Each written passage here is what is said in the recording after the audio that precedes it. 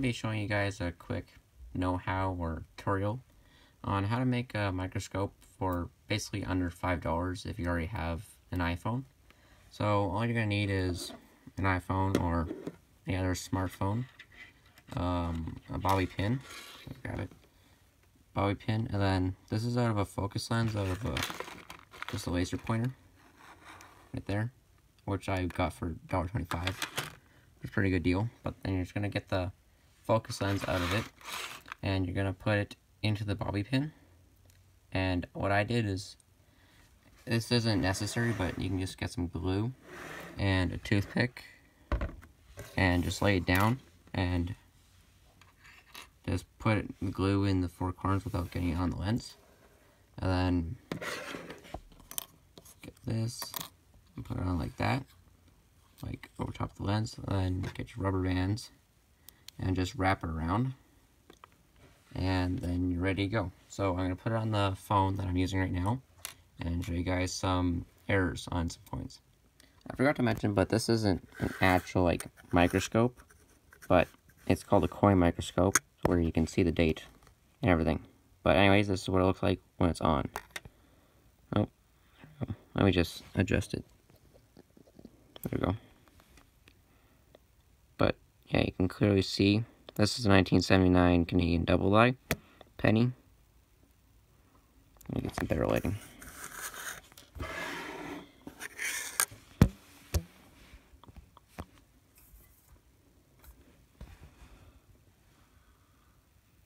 There we go. But you can see the doubling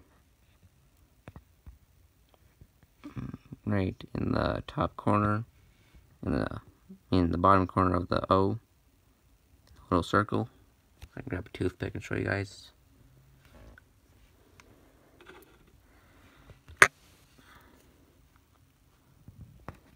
Hmm.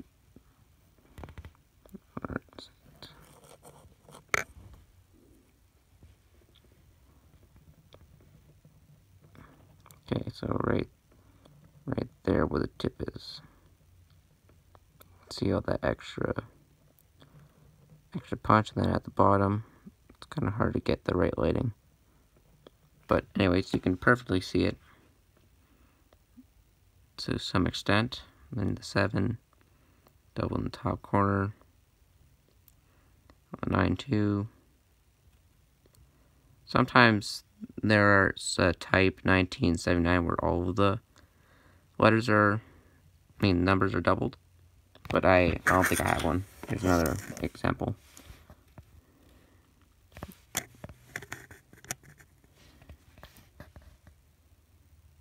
hold on.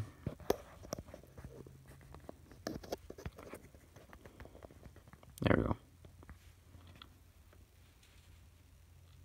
Let's see, that one's pretty doubled.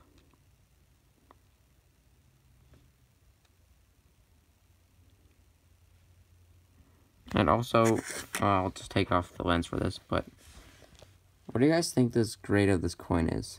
It would be awesome, just, it's kind of hard to tell because the reflection of the holder, but anyways, if you do or can tell what the grade is, roughly, that would be awesome, and just leave it in the comments.